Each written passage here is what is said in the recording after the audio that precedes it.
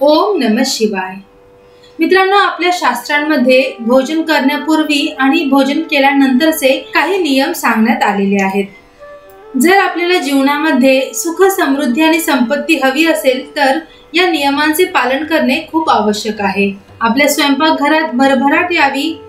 माता अन्नपूर्णेची कृपा सदैव आपल्यावर राहावी आणि आपल्या घरामध्ये धनधान्याची कधीही कमतरता पडू नये. घरात बरकत यावी. यासाठी आपल्याला काही नियमांचे पालन करायचे आहे. सर्वात पहिली गोष्ट म्हणजे की जी स्त्री किंवा जी व्यक्ती स्वयंपाक करत आहे तिने स्नान केल्यानंतरच स्वयंपाकास सुरुवात करावी. अंघोळीपूर्वी म्हणजेच पारुषा अंगाने स्वयंपाक करू नये.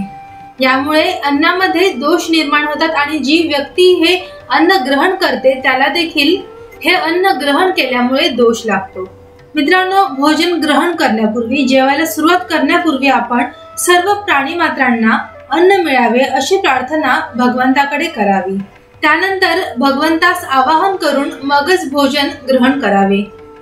भोजन ग्रहण करत असताना आपले मुख पूर्व किंवा उत्तर दिशेला करावे.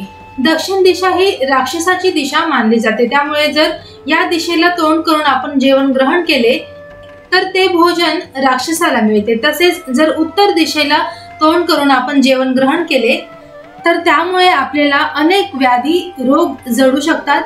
म्हणून जेवण करताना नेहमी पूर्व किंवा उत्तर दिशेलाच तोंड करून बसावे. मित्रांनो सध्याच्या धावपळीच्या जीवनामध्ये सर्व कुटुंबासोबत एकत्र जेवणाची संधी सर्वांनाच मिळत नाही. पण कमीत कमी दिवसातून एकदा तरी घरातील सर्व सदस्यांनी एकत्र बसून जेवण करावे. यामुळे कुटुंबातील सदस्यांचे एकमेकांवरील प्रेम वाढते. भांडण तंटा होत नाही आणि घरामध्ये शांतता राहते. जेवण ग्रहण करत असताना आपल्या जीवनातील अडचणी समस्या संकट याबद्दल चर्चा करू नये. बोलायचंच असेल तर चांगलं बोलावं जेणेकरून आपलं चित्त प्रसन्न राहील. पण शक्यतो मौन राहूनच जेवण करावे. गप्पा मारत बडबड करत अन्न ग्रहण करू नये. तसेच रागारागाने किंवा संतापाने देखील जेवू नये. शांततेत आरामात अन्न ग्रहण करावे. हे अन्न प्रेत योनीला प्राप्त होते.